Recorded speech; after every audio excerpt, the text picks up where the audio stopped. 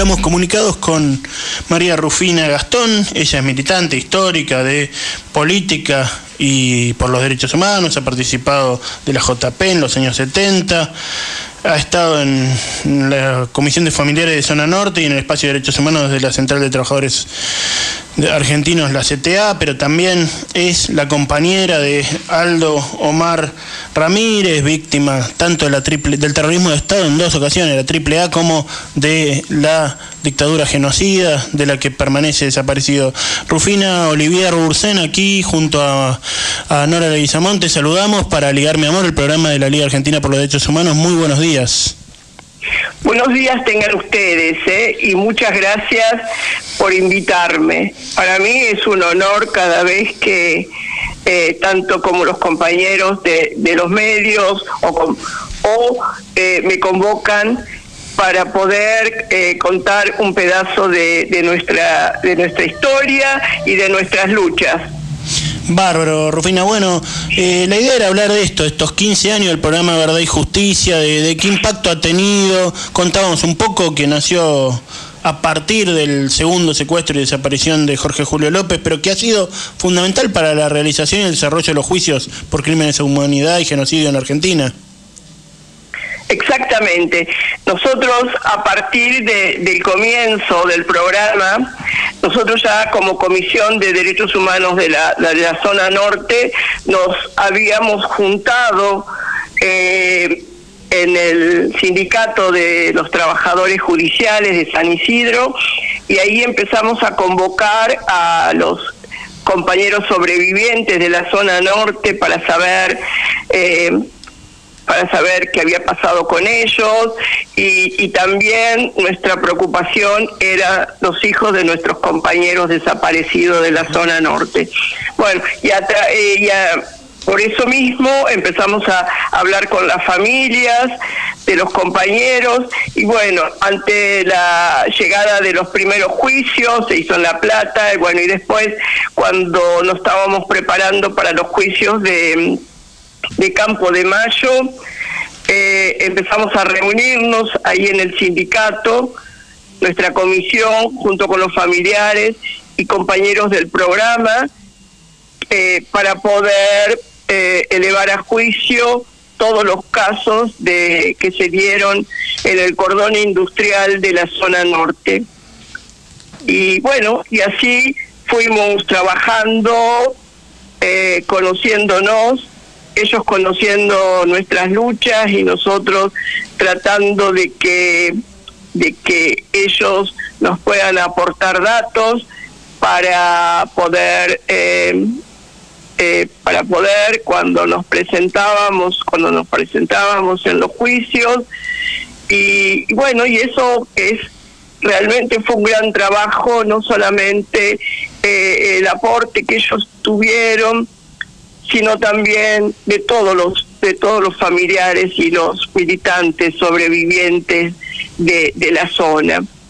Y así empezaron los primeros juicios, el juicio contra Patti y, el, y el juicio contra los genocidas, el juicio de los trabajadores navales y después ceramista, eh, los compañeros de Ford, y siempre hemos tenido el acompañamiento estos compañeros bajo, bueno, ahora con la dirección del programa de, de Claudia China y bueno, que realmente ella es una compañera que nos ha ayudado mucho y que nos ha contenido. Yo creo que a veces eh, los familiares cuando nos sentamos en el tribunal nos sentamos ahí mirando a, los jueces y a un costado a los a los represores, ¿no?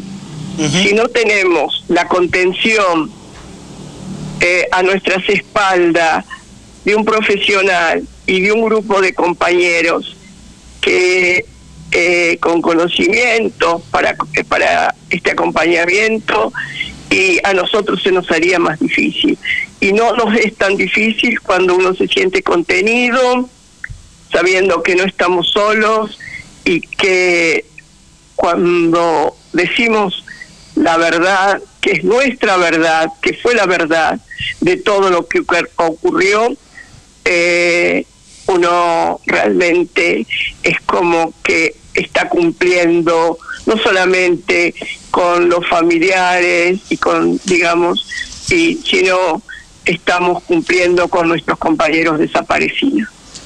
Te quería preguntar, te habla Nora Leguizamón, ¿cómo estás? Sí, ¿cómo estás? ¿Cómo estás? Eh, te quería preguntar, estuve escuchando algunas notas en donde hablaste, hace poco fue Treleu, ¿sí? En donde vimos cómo todas las organizaciones juntas pudieron trabajar en, ese, en esa fuga y, también contaste vos que cuando pasó lo de Astarza, porque hubo... Eh, se participó en dos tomas de astilleros, ¿sí?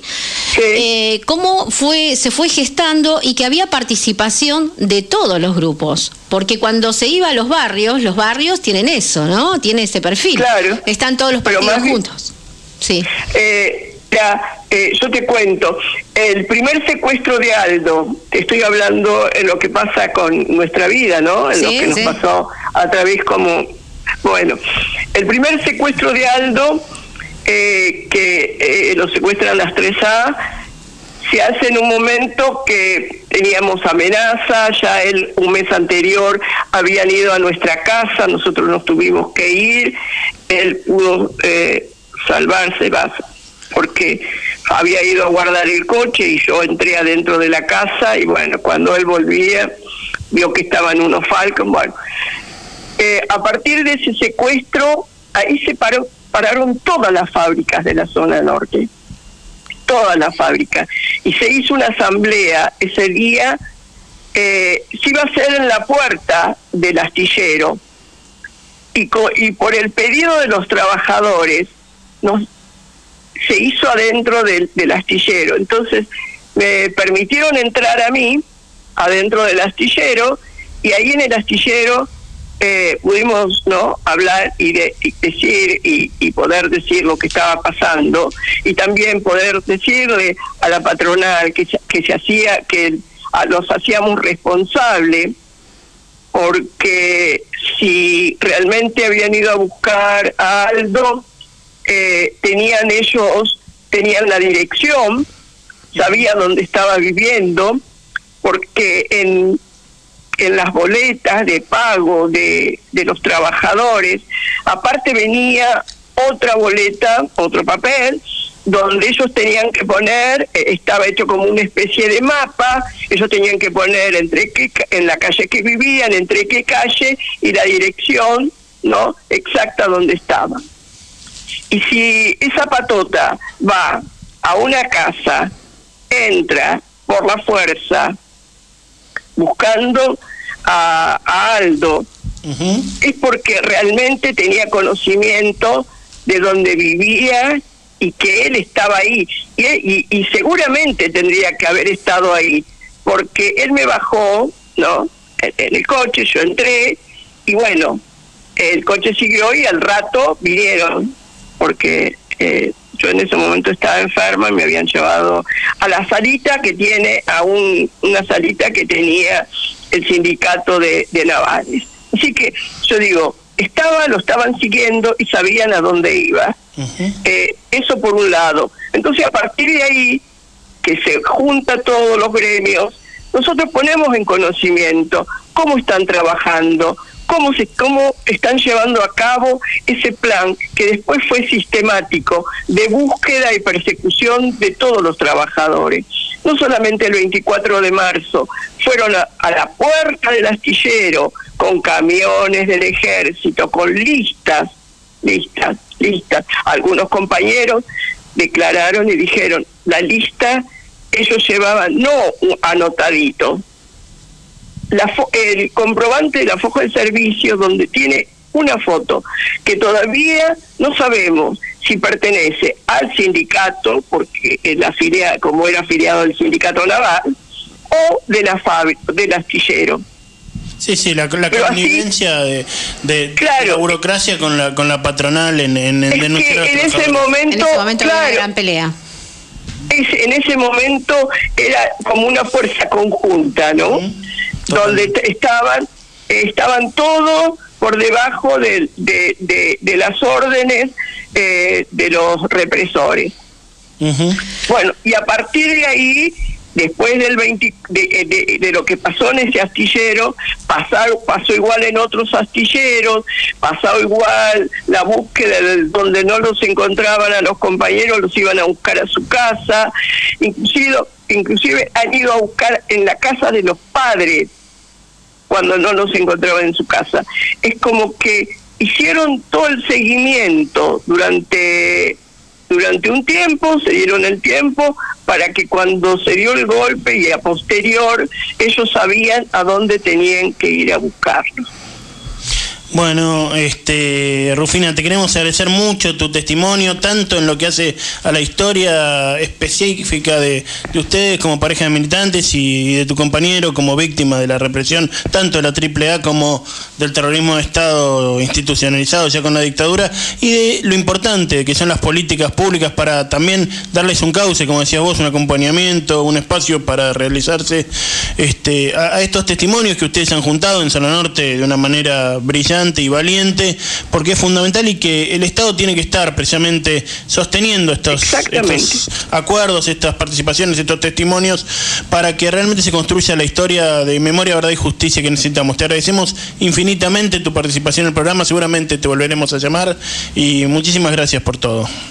No, yo les agradezco muchísimo y bueno, yo estoy siempre presente para colaborar en lo que se me necesite. Muchísimas gracias, ¿eh? un abrazo grande para todos. Muchísimas gracias, Rufina. Bueno, un abrazo.